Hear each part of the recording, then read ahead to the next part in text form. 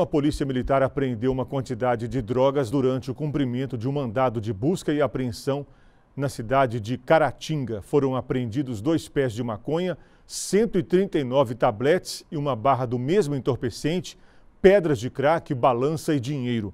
O sargento Antônio de Barros fala dessa ocorrência. De posse de, de várias informações é, da comunidade ordeira daquele local, é, nós é, solicitamos né, à Justiça mandado de busca e apreensão para aquele endereço. E várias guarnições se deslocaram até a, a tal residência, é, onde foi franqueada é, pela moradora. E nesse local nós conseguimos lograr isso e encontrar algumas, quantia, algumas pedras é, de crack, substância análoga a crack, e também maconha, bem como é, valores um pouco altos em razão do comércio de drogas.